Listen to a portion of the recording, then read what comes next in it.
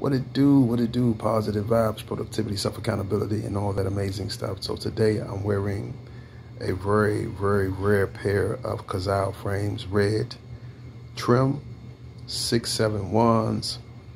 Um, as you can see, you really don't see a lot of people with this model, this in this color tone, um, with the gold trim, black handles.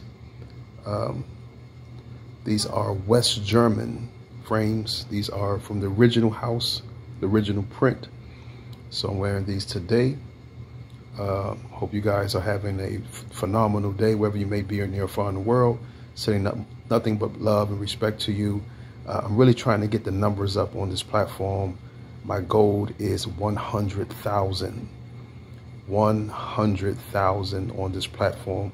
And I need you guys' help to make that possible, make that happen. Uh, I'm dreaming big because we're going big. So today I'm wearing a very rare, rare pair of Cazal frames, red West German. Uh, we don't wear glasses, we wear eye jewelry. Much love, much respect from the house of elegance, the house of Cazal. Peace, family.